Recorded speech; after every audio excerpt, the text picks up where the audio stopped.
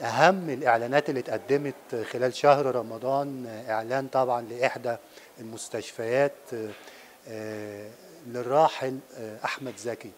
والحقيقة كان ظهورك ظهور مميز جدا وسط كوكبة من النجوم. فتقول إيه عن الإعلان ده وإزاي اتعرض عليك واديني كواليسه كده والله أنا لما كلموني في الإعلان آه، طبعا كان يعني سببين مهمين ما فيش سبب يعلو عن التاني في إني لازم أكون مشارك في هذا الإعلان.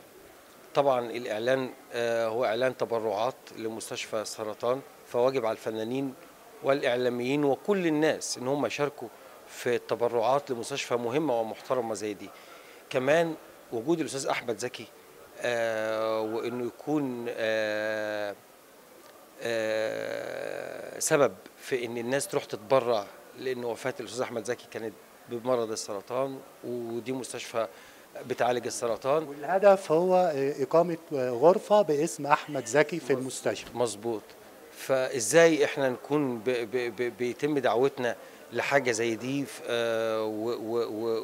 وإن إحنا بنقول للأستاذ أحمد زكي رحمة الله عليك أنت أسعدتنا في حياتك وكمان بتسعدنا وبتشارك في شفاء المرضى اللي هم عانوا نفس مرضك آه، في وقت وفاتك.